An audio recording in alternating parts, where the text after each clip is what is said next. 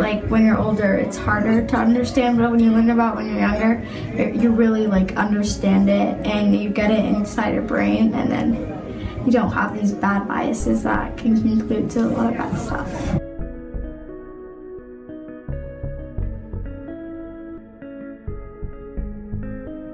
So we had the opportunity in social studies class to have three different teaching artists to come to work with us. One of them was a poetry artist, one of them was a story slam artist, and one of them was like a visual artist. So, um, and we were split into three groups based on our choices, and we workshopped with the artists.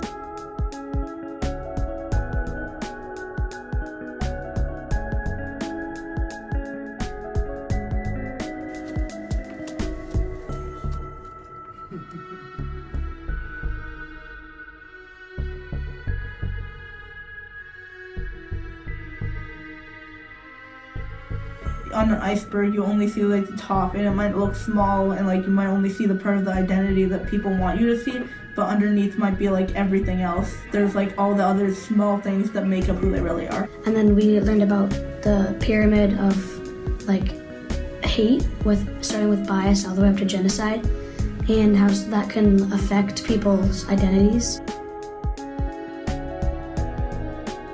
Fellow classmates, showed me courage because they were reading out even if they thought like tough stuff about their life and stuff like that.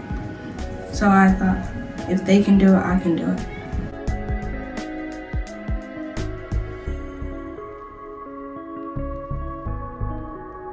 Poetry is such a good way, or really any art form, to get a hard uh, topic, such as like race or a lot of these uh, issues that we're trying to work on as a country. I was able to write poetry, and I feel like without going through that social studies unit, I mean, I wouldn't have learned some of the stuff I would have learned. We learned a lot more about like making your story powerful and making it meaningful to people.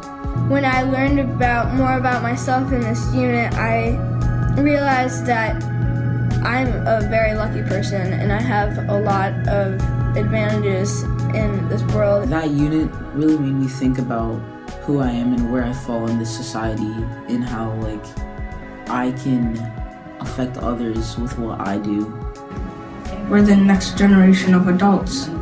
So we have to like move our world into a better place since we're young, we should learn, we should know about this right now